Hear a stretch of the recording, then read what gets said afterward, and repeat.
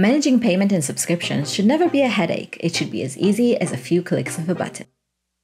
This is exactly why we created a designated place within your workspace to manage all billing and payment options. To access the Workspace Management screen, just open the Settings menu and click here. From this screen, you can easily see the status of your workspace, the billing period and renewal date of your subscription plan, the number of seats you're charged for, and your current payment method.